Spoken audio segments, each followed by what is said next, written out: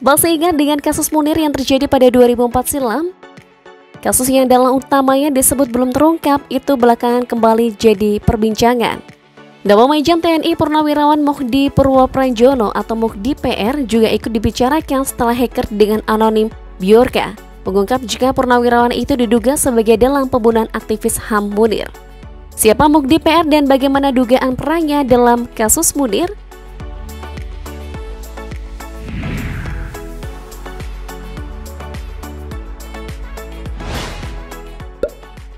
Berpangkat Mayor Jenderal TNI Purn Muhdi Purwo Prayono atau Muhdi PL adalah seorang purnawirawan perwira tinggi militer yang kini terjun ke dunia politik. Pria kelahiran Sleman 15 April 1949 ini merupakan anak keenam dari sembilan bersaudara. Ayahnya seorang pemimpin Mas Yumi dan ibunya berasal dari anggota organisasi Masa Muslim Nahdlatul Ulama. Di masa remaja, Muhdi PR berperan aktif dalam gerakan pemuda. Salah satunya pernah terlibat dalam front aksi pemuda pelajar Indonesia dan sering mengikuti aksi unjuk rasa. Ia memiliki seorang istri bernama Nyonya Puji Astuti dan disebut memiliki tiga anak.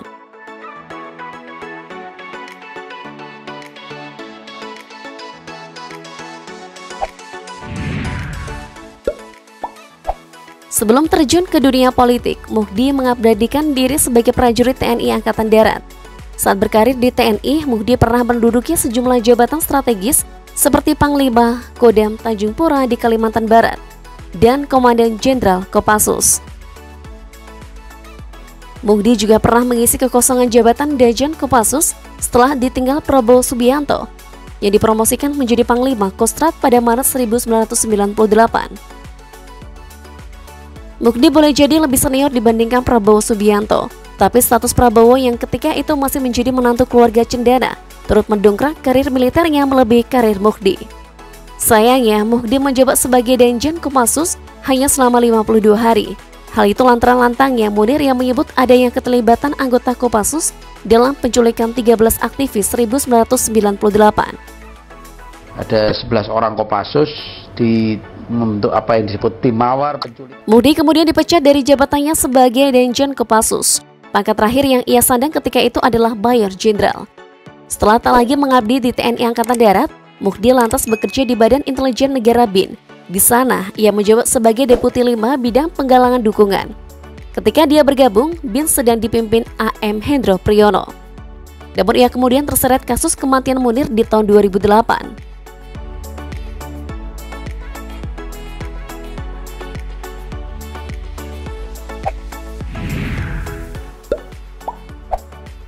Setelah karir militer dan intelijen, belakangan Muhdi masuk ke dunia politik.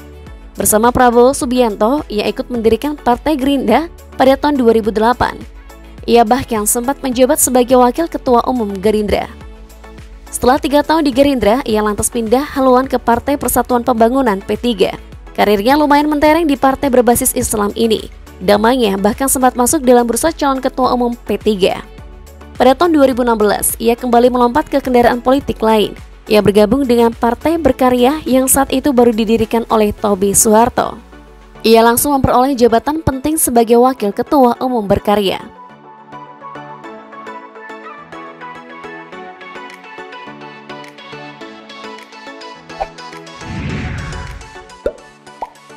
Sebelum kembali digunjing sebagai terduga dalam kematian Munir, Muhdi sebenarnya memang pernah ditetapkan sebagai tersangka kasus tersebut.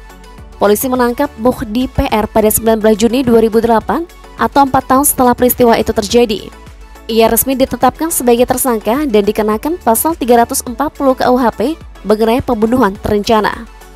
Muhdi PR dianggap memiliki motif sakit hati terhadap Munir sebab karirnya terhenti setelah terungkapnya penculikan aktivis pada tahun 1997-98.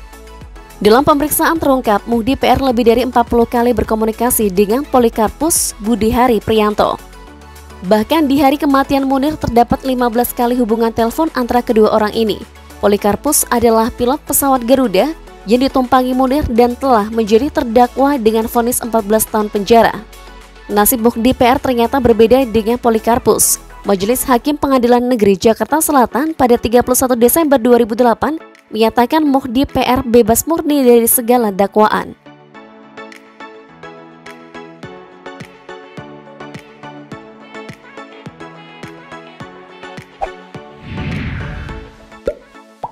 Meski tidak diketahui pasti sumber kekayaan dan jumlah kekayaan dari Purnawirawan yang banting setir jadi politisi tersebut, namun hampir dipastikan ia adalah seorang pengusaha seperti halnya Prabowo Subianto yang memiliki jejak karir yang lebih kurang sama.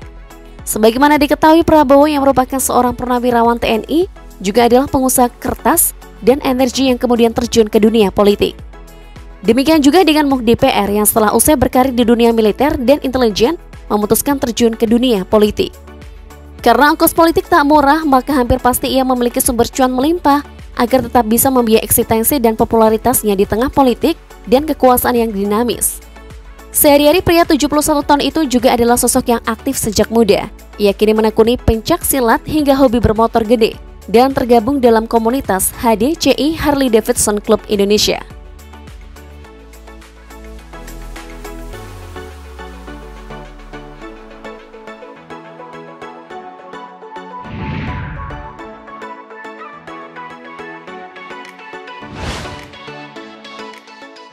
Sekretaris Jenderal Partai Berkarya, Badarudin Andi Picunang, merespon tudingan Biorka terhadap Muhdi PR yang kini menjabat sebagai Ketua Umum Partai Berkarya. Menurutnya, Biorka memiliki niat tertentu.